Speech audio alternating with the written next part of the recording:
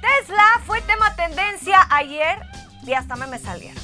Me salieron toda la cosa, las cuentas acá de youtubers, de influencers, estuvieron empezando a sacar qué sucedió.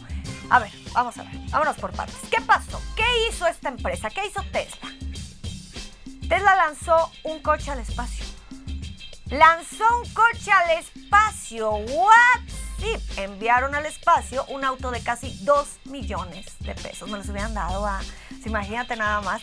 Ayer el cohete más poderoso del mundo, el Falcon Heavy de SpaceX, despegó de la plataforma de lanzamiento en su muy esperado vuelo, porque todo el mundo estaba hacia la expectativa, un vuelo de prueba, era un vuelo de prueba hacia una órbita cercana a Marte. Cuando decimos un vuelo de prueba, no significa, ¿verdad?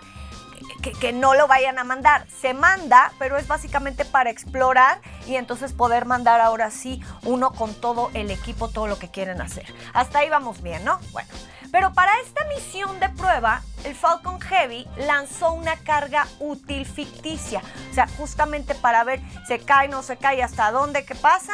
¿Y qué carga lanzó? Un roster Tesla rojo cereza.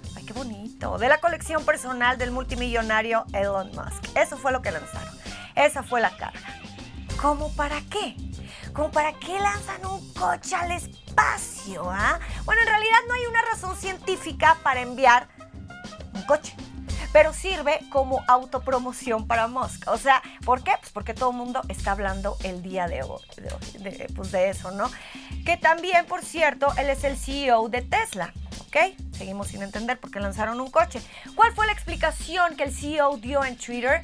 Dijo, me encanta la idea de que un automóvil se mueva aparentemente sin fin a través del espacio.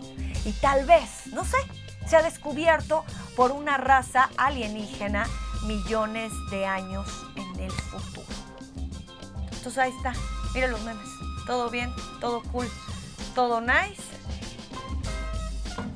Obviamente no mandaron a, una persona ahí, o sea, eso, eso ya es too much, pero sí hay, sí hay un coche ahorita en el espacio.